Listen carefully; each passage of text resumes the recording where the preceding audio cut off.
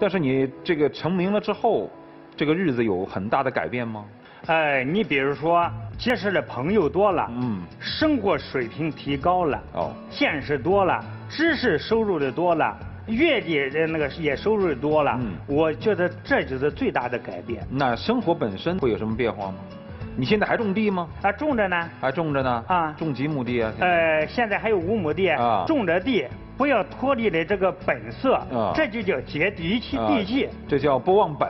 嗯，对。啊你算你们村上的名人了，对不对？周围的邻居们对你们的态度有改变吗？啊，有啊，你比如说我邻居就是说那个谁家就是说，呃，只要是不买房不买车，给我借点钱，就属于那种不是图享受的。对啊哎，朱志文，你看我这出不去了，我这上岁数了，你借我点钱嘛？我干点小生意，那好，我借给你点钱。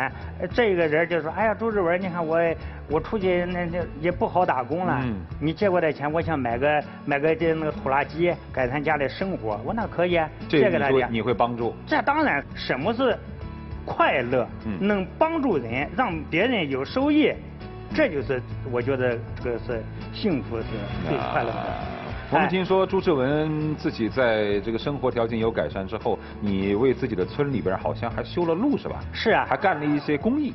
哎，对对对对，啊我们那个村啊，没有柏油的油路，都是这个泥路。一下点雨呢，你别说开车，你就是步行走，也经常不是小孩滑倒，就是老人滑倒。嗯因为我在那开车，我知道刚下完雨，那个三轮车本来就是上那直走着，走着走着，这这个行那就属螃蟹了，它就横着走了。嗯结果压在横沟里去吧了，这个路不修，不光给我自己带来不方便，而且是给所有的走这个路的都不方便。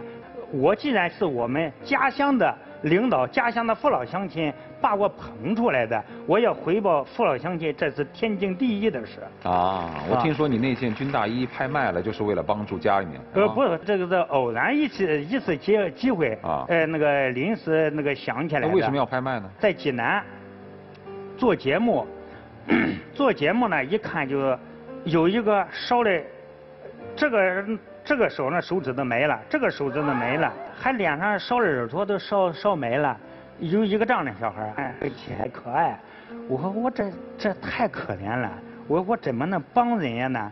结果我一想，就是我别人也说过，名人的东西能变卖，卖了也可以，呃，帮助别人帮助别人。我那个时候刚出名，也没钱，我真的是说，嗯，带了几天，我把我这个大衣卖了，卖多少钱了？卖了五十一万八。哦好了，我说你们这个够不够？不够五十一万八，不够，你六十一万八。哦，救助了那几个小孩儿。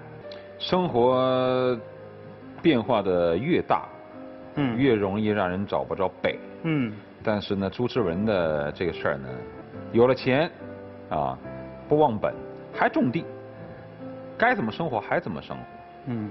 有了钱不忘爱，这所有的一切都证明朱之文在名利过后没有躁动，确实值得我们圈里面很多人学习啊，当然也不值得我学习。